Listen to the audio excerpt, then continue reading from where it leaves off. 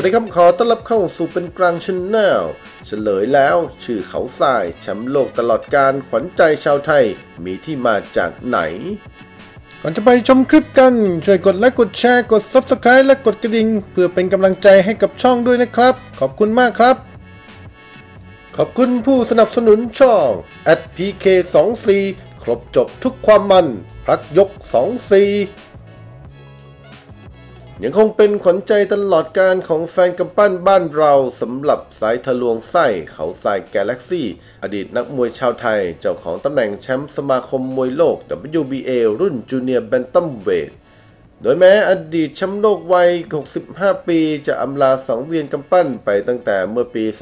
2534 แต่ชื่อเสียงและผลงานยังคงได้รับการยอมรับจากทั่วโลก โดยสถิติการป้องกันแชมป์ไว้ได้มากถึง 19 สมัยน็อกคู่ชกถึง 16 ราย แถมครองเข็มขัดแชมป์โลกยาวนานถึง 7 ปีเต็ม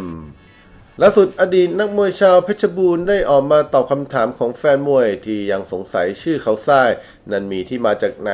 ก่อนได้คำตอบว่า นิวัฒน์เหล่าสุวรรณรัตน์โปรโมเตอร์ใหญ่คู่ใจเป็นคนตั้งชื่อนี้ให้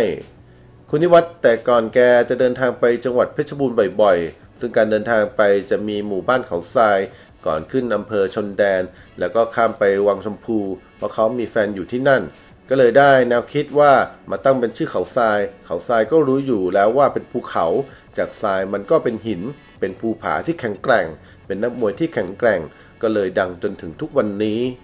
ส่วนเขาค้อก็อย่างที่รู้กันดีเป็นอุทยานแห่งชาติชื่อดังในจังหวัดเพชรบูรณ์ ที่นี่พอเขามาตั้งเป็นเขาทรายเขาค้อก็เลยกลายเป็นตำนานคู่แฝดคู่แรกของโลก ที่ก้าวถึงตำแหน่งแชมป์โลก อดีตยอดมวยกล่าวสำหรับแชมป์โลกคนที่ 9 ของไทยมีชื่อจริงว่าสุระแสนคำมีพี่ชายฝาแฝดชื่อวิโรธแสนคำ ที่มีชื่อในวงการกำปั้นว่าเขาคอกาแล็กซี่เป็นอดีตแชมป์โลกรุ่นแบนตันเวทของสมาคมมวยโลก ซึ่งทำให้เป็นแชมป์โลกคู่แฝดแรกของโลก